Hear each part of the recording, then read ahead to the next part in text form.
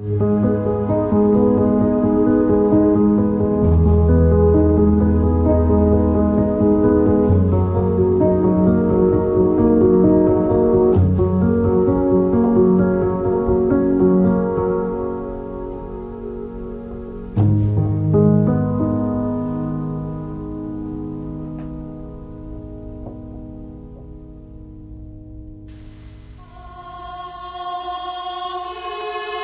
nos visita en el Museo de Bellas Artes de Valencia Miguel Ángel Cajigal, que es eh, más conocido probablemente como el barroquista por la mayoría de nuestros seguidores y que es un historiador del arte gallego eh, que ha hecho el gran esfuerzo que, muchas veces a los historiadores del arte nos cuesta hacer de pensar la historia del arte y pensar el arte desde el público.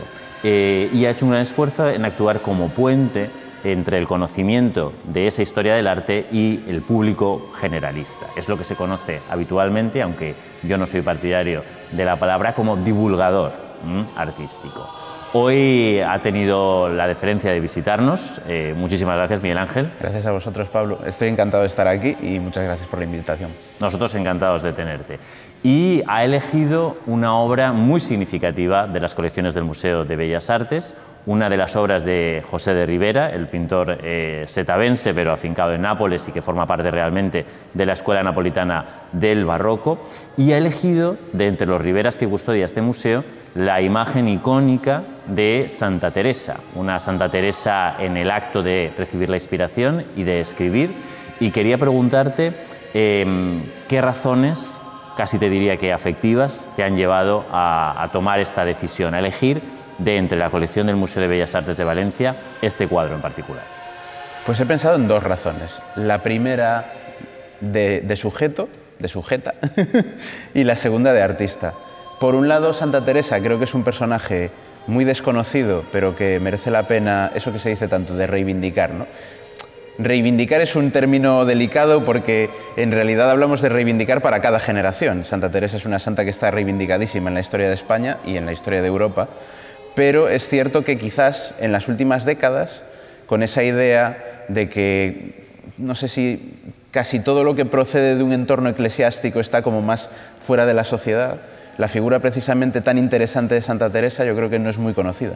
Y, creo que conocerla mejor daría pie a, desmontar muchos de los clichés que tenemos sobre la historia, tanto española como la historia de la Iglesia en general. Una figura tan interesante, tan rupturista, también es cierto que convive en una época en la que hubo muchas figuras similares a ella, pero sin duda una de las más espectaculares en cuanto al cambio de paradigma que supuso dentro de la Iglesia en España y también en Europa. Creo que eso merece la pena. Además, como estamos justo en el centenario, coincide que, estamos en el centenario de su canonización, yo creo que es como muy apropiado y revisitar esta figura y, y hacerle un pequeño guiño. Y luego, por otro lado, uno de mis artistas favoritos, que es Rivera, y en estas salas que estoy viendo desde aquí a unos cuantos monstruos, yo creo que Rivera es un poco un caso parecido. Eh, a Rivera quizás le ocurre, no tanto en esta tierra, porque toca más cerca, pero en general me da la sensación de que a nivel de la historia del arte en España, que es un poco este extraño, extraño vecino. ¿no? Pasa, pasa mucho también con compositores de, esta época, en la que ya los artistas empiezan a mover por toda Europa, y, al final no son de ningún lado. ¿no? Entonces a Rivera le pasa esa cosa tan injusta de que no es lo suficientemente español muchas veces para ser uno de los grandes. Si preguntamos por los grandes del barroco, muchas veces la gente se deja fuera a Rivera y es una cosa curiosa, porque a mí me parece más grande que alguno de los que le, le supera. Ya estoy yo metiéndome en líos. Y si vamos a Italia, tampoco lo consideran suficientemente italiano como para ser una estrella de la pintura italiana. Entonces, vamos también a, hablar de Rivera y reivindicarlo un poquito. Hoy es un poco reivindicativo todo esto. Sí, pues si te parece podemos empezar, eh, si quieres, por la parte más estrictamente histórico-artística o más formal. Eh, y es, ¿qué te parece que tiene de especial esta pintura eh, y qué características de ese José de Rivera, tan importante para las dos orillas del Mediterráneo, la ibérica y la itálica, qué, te transmite esta, esta imagen de Santa Teresa? Lo más interesante del cuadro es la sensación de retrato que produce. Sabemos, vamos a llamarlo así como de manera muy común para que, para que la gente que nos ve pueda saber a qué nos referimos. Santa Teresa cuando se pinta este cuadro era una santa relativamente reciente. Entonces, esa idea de estar ante la santa misma, ante su propia efigie, ante su aspecto, poder evocar un poco esa idea de poder colarse de alguna manera en su estudio y poder verla justo en ese momento tan único en el que ella está teniendo la inspiración divina, creo que es algo que sigue funcionando hoy día, pero desde luego en el siglo XVII funcionaba con muchísima fuerza. Eh, sabemos que a partir de las características clásicas de la pintura de Rivera, ese claroscuro tradicional que él utiliza, muy teatral y muy marcado, que aquí nos sirve sobre todo para poner los focos de manera muy precisa en, lo que quiere que nos fijemos, en los útiles, en el acto de escribir, en los atributos y sobre todo en su rostro. Yo creo que lo más interesante para mí de este cuadro es precisamente el rostro, no, no solo por la efigie, sino porque se capta muy bien esa dificultad para buscar un equilibrio entre el éxtasis, sabemos que hay otros éxtasis mucho más arrebatados de Santa Teresa en el barroco, y, esa, y esa, naturalidad, esa concentración. Yo creo que es, es, menos teatral, es menos dramático, podríamos decir, que otras Santa Teresas, a lo mejor mucho más famosas, pero creo que representa muy bien una sensación como más neorealista, si me permites utilizar un adjetivo que no viene a cuento. ¿no? Esa idea de que tenemos versiones de Santa Teresa mucho más Hollywood, pero aquí tenemos una Santa Teresa más, más de carne, ¿no? Sí, estoy, no puedo estar más de acuerdo en que eh, Rivera en, este cuadro realmente, a pesar de no estar reproduciendo las facciones de la santa, la que no conocía, eh, sin embargo sí que tiene esa voluntad de que este cuadro se presente como un verdadero retrato. Sabemos que efectivamente se pintaron verdaderos retratos de Santa Teresa, en concreto el de Fray Juan de la Miseria, que se pinta en Sevilla, y que eh, tiene un formato muy parecido a este, pero con facciones completamente distintas. Y Rivera, de alguna manera, está recogiendo esta idea de presentar a sus espectadores, que tampoco sabían en realidad cómo era Santa Teresa, una imagen que sea más eh, que real, que sea verosímil de cómo fue la santa. Esa es la parte que a mí me interesa más de, de los santos y santas de Rivera. Ese juego que él tiene a la hora de representarte esa figura sagrada como alguien que podrías encontrarte, nosotros diríamos que te podrías encontrar en la cola del pan o en la cola del aeropuerto, ¿no? cuando te encuentras con una persona conocida o algo parecido. Esa sensación de, veracidad, de verdad, que tiene la pintura de Rivera, yo creo que es lo que la hace más interesante. Claro, la nómina de santos que pasaron por sus pinceles es casi infinita, es raro, es raro que se le saltase algún santo alguna santa importante, y quizás lo reconocemos mucho más y lo asociamos mucho más a santos ancianos, ¿no? esos San Jerónimos maravillosos, pero a mí me gusta mucho ese Rivera que no va tanto a la carne macilenta, ¿no? Por ejemplo, sus imágenes de Santiago Apóstol, que no sé si mencionarlo cerca de Santa Teresa está muy bien, pero él juega mucho con un Santiago más joven también en su iconografía. Me parece muy interesante eh, ese concepto que él tiene de actualizar a esas figuras, ¿no? de traerlas al presente y convertirlas en figuras que la gente que va a ver el cuadro como decías tú, pueda sentir real, aunque no lo sea del todo. Sí, hablabas de Santa Teresa eh, con Santiago. Efectivamente, sabemos que eh, Teresa es canonizada en una quíntuple canonización fastuosa que se celebra en Roma en 1622 em, y que automáticamente tiene un éxito estratosférico en todo el mundo hispánico y más allá.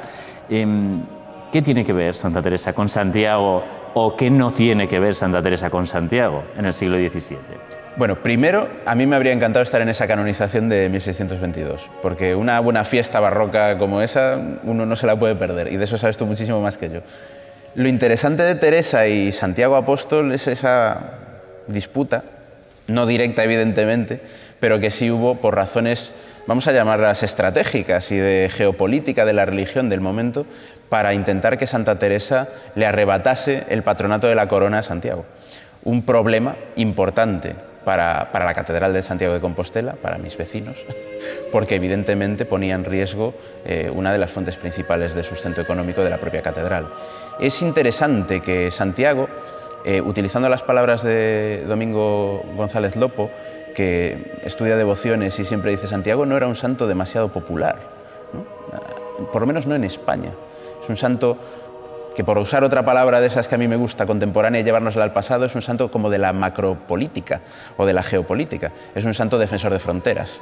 Es un santo bastante alejado, si lo pensamos bien, de lo que es la fe de los siglos XVI y XVII hasta cierto punto. Un santo distante. Es cierto que es un apóstol y eso te convierte en una figura muy importante, pero al fin y al cabo ya habían pasado muchos siglos. Y eso de que lo viésemos a caballo, como caballero, combatiendo, pues estaba muy bien, pero no tocaba tanto esa sensibilidad de a pie.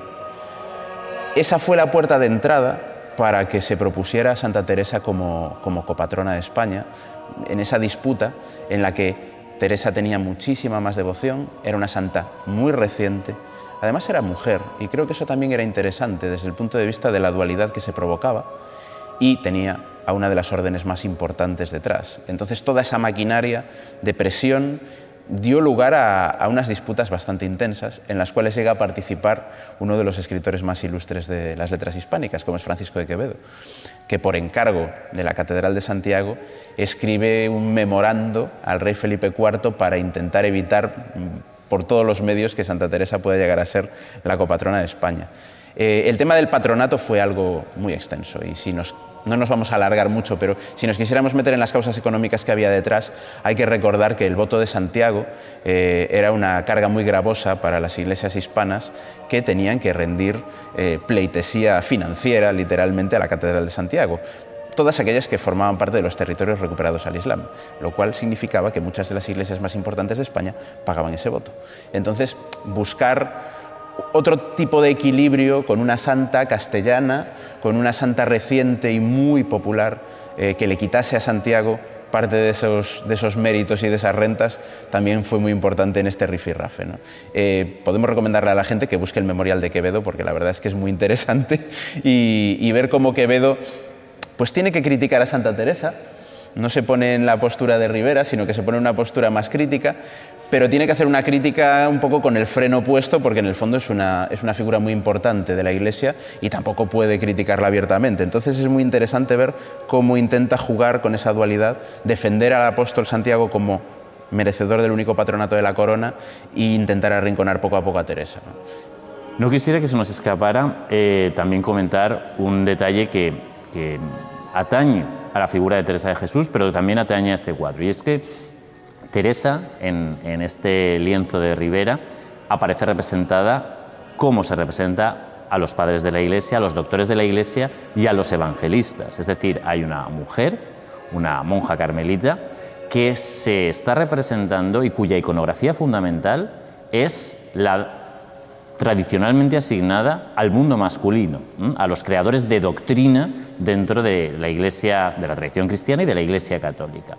Eh, en mi opinión, esto es algo muy revolucionario. Eh, no solamente la imagen, sino todo lo que hay detrás. Y el papel de Teresa en la evolución de, digamos, el rol de la mujer dentro del catolicismo me parece particularmente relevante es muy interesante y precisamente por eso te decía que era muy interesante que esta figura fuese una figura femenina, que fuese una mujer, eh, porque estaba marcando, como, como, dices, un cambio de roles. Eh, no abundan, pero existen los, los roles de, santas fuertes. ¿no? Santa Catalina podría ser un ejemplo también. Ese ejemplo de santa con autoridad, con autoridad intelectual, que está aquí representado. Santa Teresa no fue doctora de la Iglesia hasta el siglo XX, pero aquí ya se está poniendo, el camino. Poniendo un poco. Es verdad que pavimentaron y luego parece que se les quedó el cemento a medio poner porque la cosa tardó bastante, pero evidentemente hay una voluntad ahí que. Por eso decía yo al principio que no casa bien con los clichés que tenemos sobre la Iglesia, sobre la historia de la Iglesia, sobre los siglos pasados, donde parece que podemos coger el rodillo de la tradición y tradicionalismo por doquier. ¿no? A mí me interesan mucho precisamente esas figuras rupturistas, que fueron en diferentes siglos desde San Francisco en adelante, el propio Ignacio, que fueron figuras muy radicales dentro de la Iglesia y que luego es cierto que se fueron a lo largo del tiempo como intentando acomodar esas figuras dentro de una ortodoxia mayor. Pero efectivamente esto es bastante radical, ¿no? representar a Santa Teresa con la iconografía tradicional de los padres. Es, potente, visualmente es una declaración de intenciones y hasta cierto punto no sé si el hecho de que, aquí corrígeme, no sé si el hecho de que el cuadro sea tan realista también ayuda un poco a que este relato funcione, porque siempre puedes jugar un poco al equívoco, ¿no? Puedes jugar a ese equívoco de sí, evidentemente Santa Teresa la estamos retratando en una iconografía que no es la que le correspondería por su sexo. Pero también es una imagen muy real, ¿no? Es una imagen de, bueno, desmiénteme tú, que, así era como ella escribía. ¿no? Eh, se está jugando un poco a transgredir precisamente esos roles dentro de lo que es la pintura, el, aparato pictórico. No estamos ante un enorme lienzo de altar gigantesco donde aparece ella con todo el aparato de los padres de la Iglesia, que quizás sería un poco más delicado, sino que estamos ante una visión más íntima, más de estudio, de colarnos en su, en su vida y, y presenciar eso que ella a través de su propia obra escrita nos permite presenciar, esos, esos momentos de arrebato místico. Bueno, Miguel Ángel, pues muchísimas, muchísimas gracias por habernos acompañado en este viaje alrededor de la figura de Teresa y de la figura de José de Rivera, su retratista en la lejanía. Y muchísimas gracias a todos por eh, acompañarnos y invito a todo el público que se acerque al Museo de Bellas Artes de Valencia a disfrutar de nuevo de esta magnífica obra que tenemos la suerte de custodiar en nuestras salas y que refleja un trocito de la historia del siglo XVII en España y en el mundo. Muchas gracias.